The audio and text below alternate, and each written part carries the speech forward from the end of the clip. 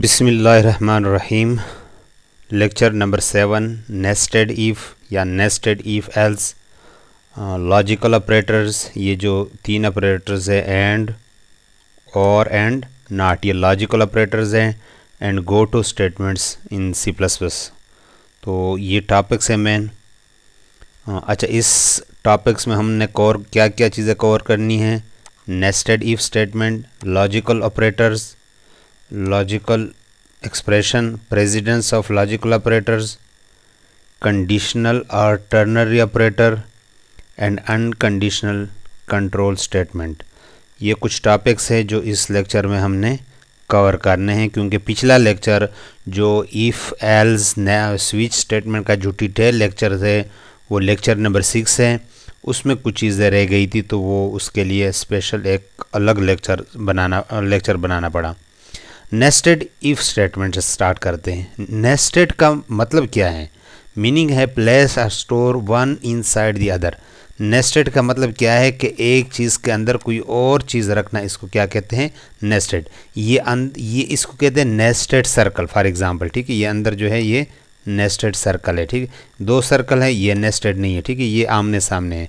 लेकिन अगर एक चीज़ के अंदर कोई और चीज़ हो तो उसको क्या कहते हैं? Nested to test more than one condition अच्छा नेस्टेड इफ़ हम यूज़ क्यों करते हैं? To test more than one condition एक कंडीशन से ज़्यादा अगर आपने चेक करना हो किसी चीज़ के लिए an if statement can be nested inside an other if statement तो इफ़ स्टेटमेंट को हमें क्या करना पड़ेगा? नेस्टेड करना पड़ेगा। ये एक सिंपल प्रोग्राम है। फॉर एग्ज़ाम्पल ये हमारे पास वेरिएबल है program programming English math and up ten marks ये इसका जो ओवरऑल में जो इसका सैनरी है वो ये है कि तीन सब्जेक्ट है प्रोग्रामिंग इंग्लिश मैथ इसके मार्क्स देने हैं, अब टेन मार्क्स कैलकुलेट करने हैं और उसका परसेंटेज कैलकुलेट करना है। तो उसके बाद फॉर एग्ज़ाम्पल किसी कंपटीशन के लिए हमने बच्चों को क्या करना है सेलेक्ट करना है। तो हमने क्राइटेरिया क्या रखा है कि जिनके परसेंटेज 70 या 70 से अबाव हो, उनको सेलेक्ट करना है, वो एलिजिबल है। तो सबसे पहले enter marks of three subjects three subjects के मार्क्स लेने यूज़र से। और यानी प्रोग्रामिंग इंग्लिश मैथ के एक स्टेटमेंट में आप तीनों के आपने मार्क्स जो एंटर किए, उसके बाद अब टेन मार्क्स इसी तरीके से कैलकुलेट हुआ। परसेंटेज का जो फार्मूला है, वो ये है। ठीक है? इसको इसलिए डिस्कस नहीं करते कि हमारा जो मेन टॉपिक है, वो कंडीशन है इफ़ एल्स है। अच्छा इसमें अब कोई नेस्टेड इफ़ नहीं है। हमने इस, हमने एक कंपटीशन के लिए प्रोग्रामिंग के कंपटीशन के लिए बच्चों को सिलेक्ट करना है। तो हमने किस बेस पे करना है कि अगर परसेंटेज क्या हो 70 या 70 से अबाव हो तो वो एलिजिबल हो गए। If percentage is greater than or equal to 70 you are eligible else you are not eligible जिनका परसेंटेज 70 या 70 से अबाव हो अच्छा अब कभी कभी ये होता है कि पूरे क्लास के परसेंटेज जो है सेवेंटी से अबाव हो, ठीक है? यानी उसमें हंड्रेड की क्लास में या फिफ्टी की क्लास में फोर्टी स्टूडेंट्स का परसेंटेज सेवेंटी से अबाव हो, ठीक है? तो यहाँ पे सिलेक्शन बड़ा मुश्किल हो जाएगा। फोर्टी बच्चे आपके पास आ जाएँगे सेवेंटी या अबाव सेवेंटी तो हम कहते हैं, नहीं, एक और चीज़ करते हैं कि कोई ऐसा तरीका हो कि जिनका परसेंटेज भी सेवेंटी या सेवेंटी से अबाव हो और स्पेसिफिक जो प्रोग्रामिंग सब्जेक्ट है, उसमें भी मार्क्स जो है greater than or equal to eighty for example हमने प्रोग्रामिंग की कंपटीशन करवानी है तो अब हम दो कंडीशन एलिजिबिलिटी के लिए, एक एलिजिबिलिटी के लिए दो कंडीशन हम रखते हैं कि उसका परसेंटेज भी सेवेंटी से अबाव हो और दूसरा क्या हो, उसका प्रोग्रामिंग में मार्क्स भी एटी या एटी से अबाव हो। तो फिर ये क्या होगा? ये पार्ट तो उसी तरह है, हमने मार्क्स लिए कैलकुलेशन की परसेंटेज कैलकुलेट की। अब देखिए if percentage is greater than or equal to seventy ठीक है? फॉर एग्ज़ाम्पल जिस बच्चे का परसेंटेज सेवेंटी या सेवेंटी से बा हो, ये कंडीशन ट्रू होगा। ये इफ़ यहाँ से स्टार्ट हो रहा है, यहाँ पे एंड हो रहा है। अब आपको पता है कि जब कंडीशन ट्रू होते है कंट्रोल उस इफ़ के बॉडी में आता है। तो उस इफ़ के बॉडी में देखिए दोबारा कंडीशन है। ये काफ़ी नहीं है कि सिर्फ़ सेवेंटी या सेवेंटी से बाव। है इफ़ प्रोग्राम प्रोग्रामिंग्स के प्रोग्रामिंग सब्जेक्ट में marks greater than or equal to eighty अगर वो भी ट्रू हुआ, फिर you are eligible eligible else you are not eligible ठीक है? तो ये एल्स यहाँ पे दो दफ़ा मैंने क्यों लिखा? वो इसी वजह से फॉर एग्ज़ाम्पल एक स्टूडेंट है, उसका परसेंटेज सिक्सटी है, ठीक है? सिक्सटी परसेंटेज है। तो ये कंडीशन फॉल्स होगा कंट्रोल आपको पता है कहाँ पे आता है? एल्स पोर्शन में। तो ये वाला एग्जीक्यूट होगा। You are not eligible for example दूसरा एक बच्चा है जिसका परसेंटेज तो सेवेंटी फाइव है। ठीक है, लेकिन प्रोग्रामिंग में मार्क्स कितने? सिक्सटी ठीक है? तो ये कंडीशन ट्रू होगा। फिर ये वाला चेक होगा। ठीक है?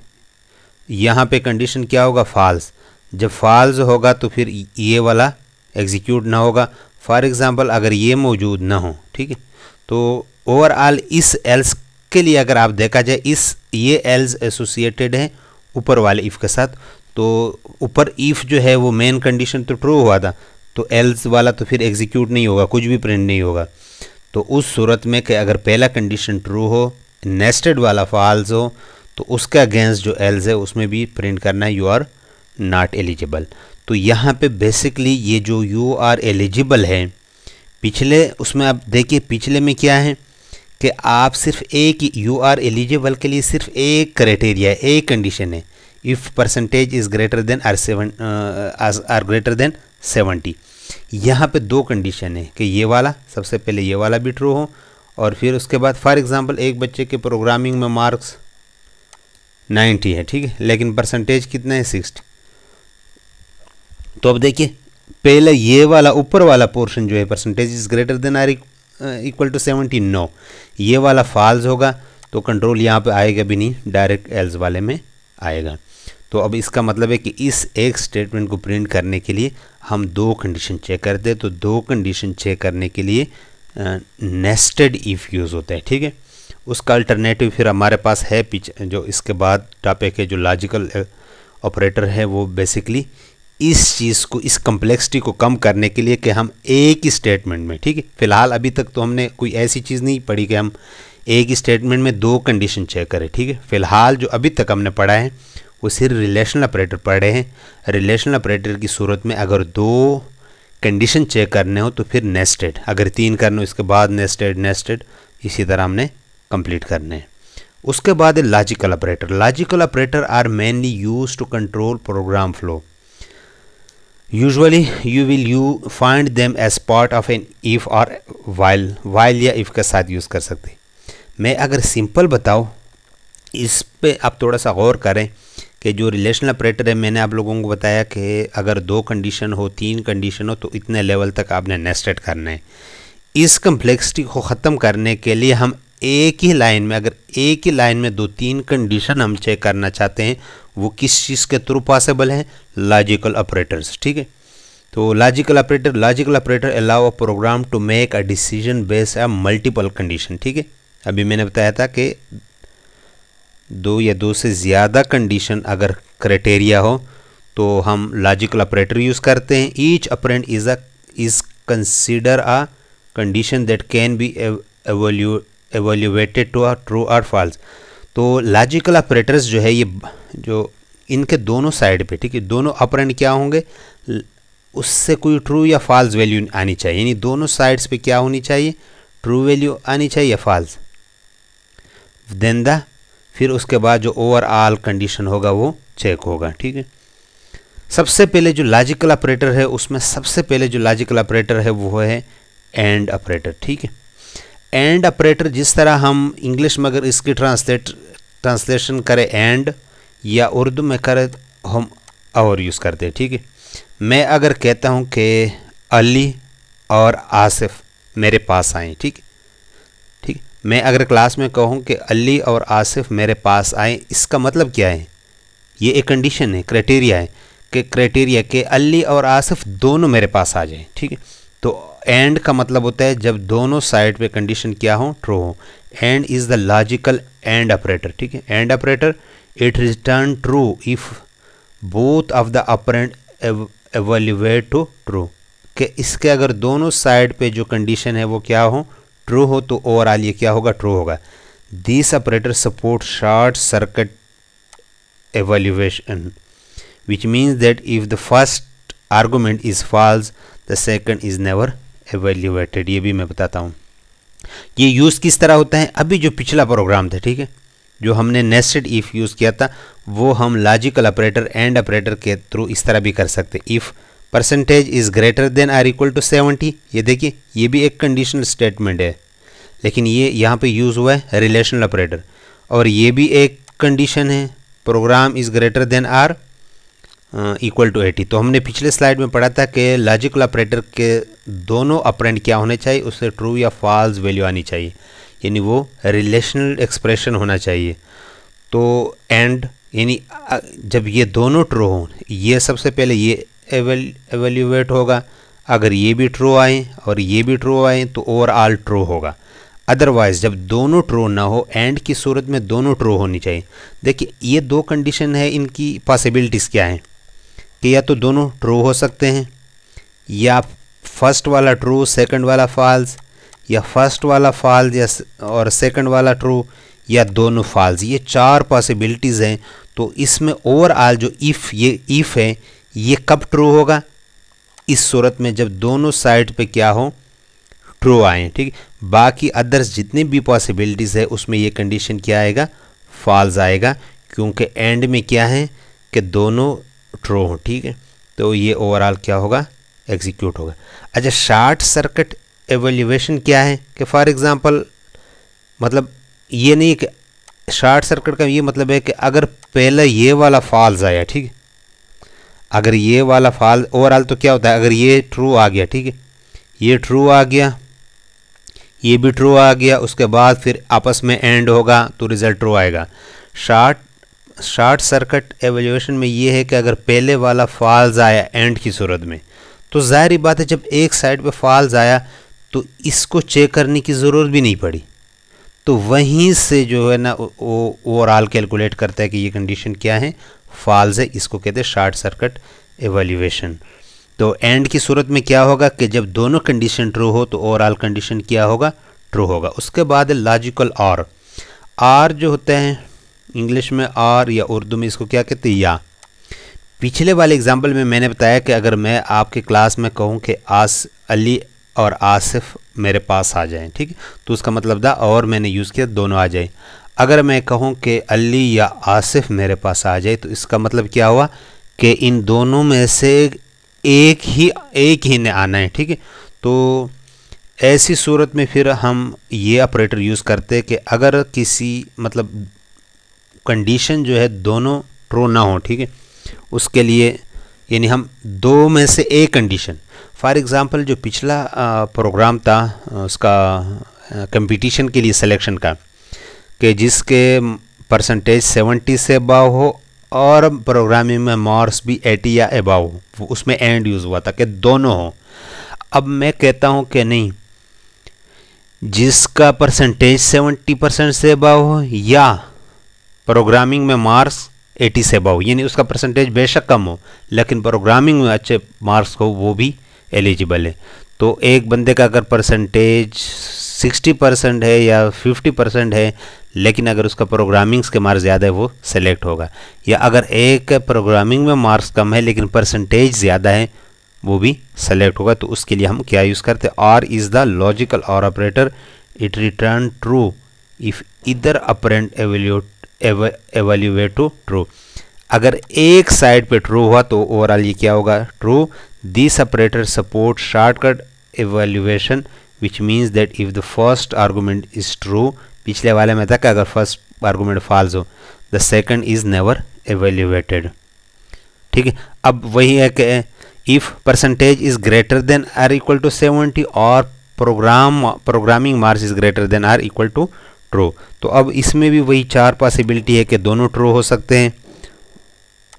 फ़र्स्ट वाला ट्रू सेकंड वाला फॉल्स फ़र्स्ट वाला फॉल्स और सेकंड वाला ट्रू या दोनों फॉल्स हो सकते हैं, ठीक है? इनके दरमियान अगर आर हो तो इस सूरत में सिर्फ़ फॉल्स आएगा, बाकी सारे क्या हैं? ट्रू हैं, ठीक है? क्योंकि आर है, ठीक है? अगर दोनों हैं सेवेंटी परसेंटेज भी सेवेंटी से अभाव है और प्रोग्रामिंग में मार्क्स भी एटी परसेंट से अभाव है तो ये तो सबसे अच्छी बात है ट्रू है। अगर प्रोग्राम परसेंटेज उसका सिक्सटी है, लेकिन प्रोग्रामिंग मार्क्स नाइन्टी है, फिर भी ये ट्रू है, क्योंकि हम आर दरमियान में क्या डाला है? आर डाला है। या ये परसेंटेज ज़्यादा है प्रोग्रामिंग के मार्क्स काम है, फिर भी ये क्या है? ट्रू हाँ अगर एक स्टूडेंट का परसेंटेज भी सिक्सटी है और प्रोग्रामिंग में मार्क भी सेवेंटी है तो उस सूरत में ये ओवरऑल फॉल्स होगा, वो वाला एलिजिबल नहीं होगा, उस सूरत में ट्रू नहीं होगा। शॉर्टकट सर्कट इनका क्या है? कि अगर पहले वाला ट्रू आ गया तो दूसरे की ज़रूरत भी नहीं है। क्योंकि आर में अगर एक साइड पे ट्रू आ गया तो वो ओवरऑल ट्रू है। देखिए, यहाँ पे ट्रू है तो ट्रू आ गया। इसमें एक तरफ़ ट्रू है तो ट्रू आ गया। इसमें एक दफ़ा ट्रू है तो ट्रू आ गया। हाँ अगर पहला वाला फॉल्स आएगा, फिर दूसरा वाला चेक होगा, ठीक अगर फॉल्स आया तो ओवरऑल फॉल्स अगर ट्रू आ गया तो ओवरऑल ट्रू उसके बाद है not operator not operator basically क्या करते हैं? कि ट्रू को फॉल्स बनाते हैं। ये यूनरी ऑपरेटर पिछले दो जो थे एंड एंड आर वो वो बाइनरी थे, क्योंकि उनके दोनों साइड पे अपरेंट थे। दोनों साइड पे कंडीशनल कंडीशंस थे। ठीक है? कंडीशनल स्टेटमेंट थे। अब यहाँ पे क्या है कि ये यूनरी है। ये किसी कंडीशन या किसी वेरिएबल ये अगर, देखिए, ये पहले, क्योंकि ब्रैकेट का, की प्रायोरिटी सबसे ज़्यादा है। ये पहले एवेल्यूएट होगा percentage is less than seventy अगर ये ट्रू हुआ तो नाट उसको क्या करेगा? उल्टा फॉल्स बनाएगा। अगर इससे फॉल्स आया तो ये नाट क्या करेगा? उसको ट्रू बनाएगा।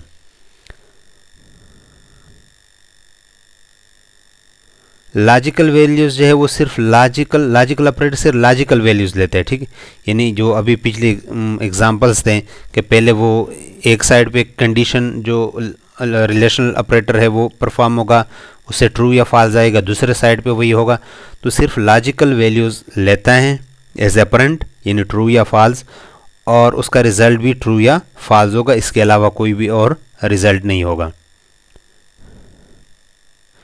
और इस नाट ऑपरेटर क्या करेगा? ट्रू को फॉल्स करेगा एंड फॉल्स को क्या करेगा? ट्रू करेगा। इनका जो प्रेसिडेंस है, प्रेसिडेंस हमने कई दफ़ा, कई लेक्चर में हमने डिस्कस किया कि ये अगर एक स्टेटमेंट में यूज़ हो तो सबसे पहले इसकी ये यूनरी ऑपरेटर, बाकी यूनरी ऑपरेटर के के साथ इसकी सबसे हाई है। ये जो दो है, इनका जो रिलेशनल ऑपरेटर, ठीक है, सबसे पहले मल्टीप्लिकेशन वाले हैं, फिर मल्टीप्लिकेशन डिवीज़न, उसके बाद एडिशन वाले हैं, फिर रिलेशनल ऑपरेटर की बारी आती। ये रिलेशनल ऑपरेटर्स के बाद हैं, ठीक है।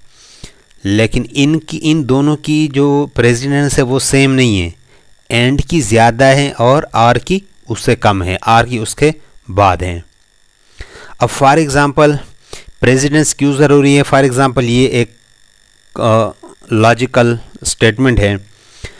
लॉजिकल एक्सप्रेशन है, जिसमें लॉजिकल ऑपरेटर यूज़ हो उसको लॉजिकल एक्सप्रेशन कहते हैं। फॉर एग्ज़ाम्पल मैं इसको सॉल्व करता हूँ कि 11 इज़ ग्रेटर देन 5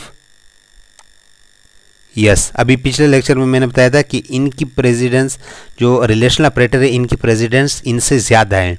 तो ये पहले परफॉर्म हो गए। और ये or six is less than fifteen yes इसे भी ट्रू आएगा। और ये and operator seven is greater than or equal to eight greater than or equal to eight तो नहीं है तो इसे क्या आएगा? फॉल्स आएगा। ठीक है? जो रिलेशनल ऑपरेटर थे, वो सारे परफॉर्म हो गए, क्योंकि उनकी प्रेसिडेंस लॉजिकल ऑपरेटर से ज़्यादा है। अब मैं ट्रू और ट्रू से क्या बनता है? जब दरमियान में आर दोनों साइड पे ट्रू है तो रिज़ल्ट ट्रू आएगा।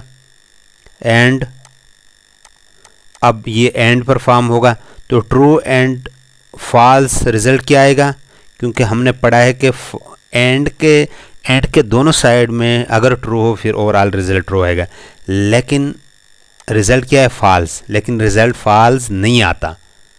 हमने गलती क्या की कि यहाँ पे प्रेसिडेंस का ख्याल नहीं रखा? हमने सबसे पहले और वाला किया, फिर एंड वाला किया, ठीक है? जो हकीकत है वो इसके बरक्स है, ठीक है? उसमें क्या है कि eleven is greater than five yes यहाँ से true and six is less than or equal to fifteen true ये and seven is greater than or equal to यहाँ से फॉल्स आ गया, ठीक है? अब यहाँ पे वो वाले तो हो गए, ठीक है? उनके आपस में जो प्रेसिडेंस है वो सेम ही है, लेफ़्ट टू राइट है, ठीक है? अब क्या होगा कि अब दो ऑपरेटर हमारे पास रह गए हैं, ठीक है? Or and and. पिछले लेक्चर, पिछले स्लाइड में मैंने आपको बताया था कि एंड की प्रेसिडेंस ज़्यादा है आर से, ठीक है? एंड की प्रेसिडेंस क्या है? ज़्यादा? तो इन दो में सबसे पहले जो एवेल्यूएट होगा, वो क्या होगा? एंड वाला होगा। तो एंड की एक साइड पे ट्रू एक साइड पे फॉल्स ओवरऑल क्या आएगा? फॉल्स आएगा, ठीक है? अब एक ट्रू एक फॉल्स दरमियान में क्या है? आर है तो ओवरऑल ट्रू आएगा, ठीक है? तो अगर आपको प्रेसिडेंस का पता ना हो तो आप लोग ये गलती कर सकते हैं, ठीक आप लोग ये गलती कर सकते हैं। आप सही प्रोग्रामर नहीं बन सकते, आप कोई सही कंडीशन बना नहीं सकते तो उसके लिए ज़रूरी है, ठीक प्रोग्रामिंग सिर्फ़ ये नहीं कि आप लोगों ने कोई चीज़ याद की, आपको पता चला कि फ़लाँ चीज़ को मैंने इस तरह लिखना है, ठीक है? ये छोटी छोटी चीज़ों पे आपने क्या करना है, अपने कमांड हासिल करना है, आपने इन चीज़ों को सीखना है। C plus plus doesn't allow you to check numeric range with expression such as हम सी प्लस प्लस में इस तरह स्टेटमेंट अलाउड नहीं है रेंज ये देखिए रेंज है कि x is greater than five and x is less than twenty ठीक है? ये अगर आप लिखे एरर नहीं आएगा लेकिन इसका रिज़ल्ट गलत आएगा वो डिटेल आ, मैं यहाँ पे नहीं बताना चाहता हूँ। तो आपने क्या करना है कि ये बेसिकली दो कंडीशन है तो इनको अगर सी प्लस प्लस में आपने लिखना है इस तरह लिखना है। If x is greater than five if x is greater than five and x is less than twenty तो ये वैलिड स्टेटमेंट है। आपने हमेशा इसी तरह जो रेंज है उसको एंड या आर की सूरत में लिखना है। द कंडीशनल ऑपरेटर या टर्नरी ऑपरेटर जिसको हम कहते हैं, पिछले कई लेक्चर में ऑपरेटर वाले लेक्चर में भी हमने डिस्कस किया था कि इसको हमने बाद में कवर करना है। You can use the conditional operator to create short expression that work like if else ठीक? ऑपरेटर वाले में मैंने क्यों नहीं बताया था? क्योंकि उस वक्त हमने इफ़ एल्स नहीं पढ़ा था, ठीक है? तो टर्नरी या कंडीशनल ऑपरेटर जो है, वो बेसिकली इफ़ एल्स के मुतबादल में यूज़ हो सकते हैं। The operator consist of question mark एक ऑपरेटर में दो सिंबल है, एक ये है और एक कॉलन है। ठीक है? तरीका क्या है कि यहाँ पे आपने सबसे पहले कंडीशन लिखना है, उसके बाद question mark expression one and expression two colon के बाद एक्सप्रेशन टू यहाँ पे इस एक्सप्रेशन के बाद सेमी कॉलन नहीं यूज़ करना सेमी कॉलन एंड पे यूज़ करना है। तो अब क्या है कि अगर कंडीशन ट्रू हुआ तो ये वाला स्टेटमेंट एग्जीक्यूट होगा, ये वाला इग्नोर होगा। अगर कंडीशन अगर ट्रू हुआ, ठीक है? अगर फॉल्स हुआ तो ये वाला इग्नोर होगा और ये वाला एग्जीक्यूट होगा, ठीक है? तो ये इफ़ एल्स का एक शॉर्ट फॉर्म है जो एक ही स्टेटमेंट में आप लिख सकते हैं, ठीक है? फॉर एग्ज़ाम्पल हम जो पास फेल है, ठीक है? फॉर एग्जांपल 50 या 50 से अबाव वाला पास है if marks is greater than or equal to 50 then pass else fail ठीक? तो इसको शॉर्टकट हम अगर इसमें लिखते हैं तो इस तरह लिख सकते हैं। Marks is greater than or equal to zero ये जो फ़र्स्ट ये वाला पार्ट है कंडीशन ये कंडीशन हो गया। उसके बाद क्वेश्चन मार्क फ़र्स्ट स्टेटमेंट ये एग्जीक्यूट होगा cout pass colon cout fail तो अगर ये कंडीशन अगर फॉर एग्जांपल मार्क्स यहाँ पे सी एन में 50 या सॉरी ये ज़ीरो नहीं 50 ठीक है? अगर 50 या 50 से अबाव दिया, ठीक है? तो ये वाला एग्जीक्यूट होगा पास वो वाला एग्जीक्यूट नहीं होगा। अगर ये कंडीशन फॉल्स हुआ तो ये वाला इग्नोर होगा सेकंड वाला एग्जीक्यूट होगा। तो यहाँ पे आप लोगों को समझना थोड़ा सा आसान हो जाएगा, क्योंकि ये इफ़ एल्स का अल्टरनेटिव है जो आप एक ही लाइन में लिख सकते हैं। देखिए इफ़ एल्स की सूरत में one line two three four कम अज़ कम फोर लाइनों में हमने कोड लिखा है। तो यहाँ पे आसानी आप एक लाइन में लिख सकते हैं, ठीक है? अच्छा जब भी इस तरह आपने कोई सी आउट यू आर यहाँ पे आप कोई इस इन ब्रैकेट के बाद आप जब भी कोई ऑपरेटर यूज़ करते हैं तो आप कोशिश करें कि दरमियान में ब्रैकेट यूज़ करें। अब यहाँ पे आप लोगों को एरर आएगा। एरर की वजह यह है कि ये जो ऑपरेटर है, इनकी प्रेसिडेंस कुछ ऑपरेटर से ज़्यादा है, ठीक है? तो पहले ये परफॉर्म होगा, आगे फिर ऑपरेटर जो सेंटेक्स होगा, वो गलत होगा। तो हमेशा के लिए जब ये ऑपरेटर यूज़ करते हैं, यहाँ पे उनको क्या करना है? ब्रैकेट में लिखना है, ठीक है? The parenthesis are place around the conditional expression because the this operator जो सी सी आउट के साथ यूज़ होते हैं operator has higher precedence than sorry ternary या conditional operator without the parenthesis just the value of expression would be send to cout तो उस सूरत में ये वैल्यू जो भेजेगी तो यहाँ पे एरर आएगा, ठीक है? क्योंकि सी आउट में हम, या तो सी आउट में हम दो तरह की वैल्यू दो तरह की चीज़ें प्रिंट करें, या तो डायरेक्ट कोई वैल्यू नुमेरिक या वेरिएबल ठीक है? या सी आउट कोई ब्रैकेट में स्ट्रिंग ठीक है? इसके अलावा उस पर क्या आएगा? एरर आएगा। अनकंडीशनल कंट्रोल स्टेटमेंट क्या है? ये पिछले जो थे, ये तो कंडीशनल थे। Unconditional control statement do not need to satisfy any condition unconditional का मतलब कि बगैर कंडीशन के आपका जो कंट्रोल हो ट्रांसफ़र हो, ठीक है? हमने पिछले लेक्चर में देखा कि कंट्रोल ट्रांसफ़र क्या होता है कि किसी कंडीशन के तहत वो क्या हो ट्रांसफ़र हो। अनकंडीशनल में अन बगैर किसी उसके ट्रांसफ़र होते हैं। उसमें सबसे पहले go to statement break statement break statement हमने उसमें देखा था स्विच स्टेटमेंट में कि जब आप ब्रेक स्टेटमेंट लगाते हैं तो उसी ब्लॉक से कंट्रोल बाहर निकलते हैं ठीक? कोई कंडीशन नहीं है ठीक? डायरेक्ट बाहर निकलते हैं। इसी तरह कंटिन्यू स्टेटमेंट का आपको ले, नेक्स्ट लेक्चर में लूप वाले लेक्चर में इसकी समझ आ जाएगी। अब हमने देखना है go go to statement statement in C plus plus is an unconditional jump statement ठीक है, ये अनकंडीशनल जंप है। ठीक है, ये जंप करते हैं अनकंडीशनल इफ़ एल्स जंप करता है, लेकिन किसी कंडीशन के बेस पे if statement transferring the control of program it allow a program execution flow to to to specified location with within the function एक फ़ंक्शन के अंदर, ये ना हो कि आप एक फ़ंक्शन से दूसरे फ़ंक्शन के अंदर जंप नहीं लगा सकते। एक फ़ंक्शन की for example main function main जो है वो एक फ़ंक्शन है, उसके अंदर आप एक जगह से दूसरी जगह जंप लगा सकते हैं। There are two way to call the go to statement दो तरीके से कर सकते हैं गो टू लेबल और यहाँ पे स्टेटमेंट और यहाँ पे लेबल ये होता है लेबल ठीक है? आपने एक लेबल एक जगह पे कोड में किसी जगह पे लेबल डिफाइन करना है और पहले ये नीचे पढ़े a label name is a user defined identifier जिस तरह वेरिएबल को आप कोई भी नाम दे सकते, इस तरह लेबल को कोई भी नाम दे सकते, आप रख सकते ए बी सी लेकिन आगे क्या करना है? कॉलन एक ही लाइन में, ठीक है? तो जब कॉलन हो तो इसका मतलब है ये लेबल है, ठीक है? तो गो टू लेबल वहाँ पे इस लेबल का for example go to A B C semicolon तो वहीं, वहाँ से कंट्रोल ट्रांसफ़र होगा इधर। बगैर किसी कंडीशन के।